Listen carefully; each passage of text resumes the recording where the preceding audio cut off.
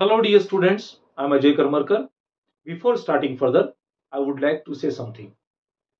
Please watch video completely. Sit with copy pen. If you find somewhere important, pause the video, note it and proceed further. Although you have facing any problem or difficulties, then please write in comment box. I will definitely solve your problem. And along with, please like, share and subscribe my channel that can reach more and more students. Thank you. The question is here. 4 resistance 40 ohm, 60 ohm, 90 ohm and 110 ohm makes the arms of a quadrilateral ABCD. Across AC is a battery of EMF 40 volt and internal resistance negligible. The potential difference across BD in V is means fill in the blanks and uh, this question is asked JEE Mains 2020 means we have to find out the potential difference from B to D. This question is so easy. Let us first we have to draw a parallel diagram another. Here is 40 volt battery is connected. Now you can see that A, B and BC these two resistors are in series. So here we have to calculate it.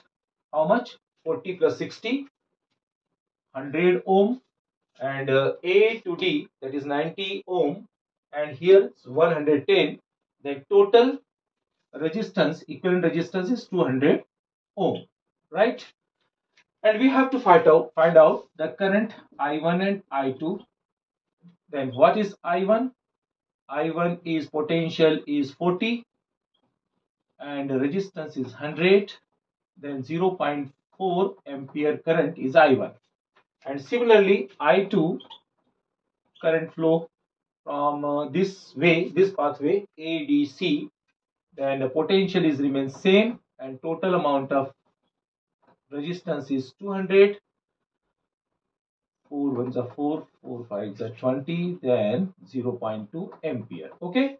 Here we have to get I1 and I2 now we have to find out the potential difference VD. Okay. So what is the potential from B I into R? What is I? 0. Point I1 into this R means 40. What is I? 0 0.4 into and resistance is 40 means VB equal to 16 volt. And VD, what is amount of current will flow here? 0.2 and what is the resistance? 90 then VD equal to 18 volt. Now potential difference VD minus VB 18 minus 16 then 2 volt is the correct answer. So here potential PD equal to 2 volt is correct answer. I hope so you understand this question. Thank you for dear students staying till the ends of this video and I know that very well you are working very hard and if I will be a part of your success journey that it will be my pleasure. But when more and more students will join with your success journey then it will be very great things. Thank you once again. Take care.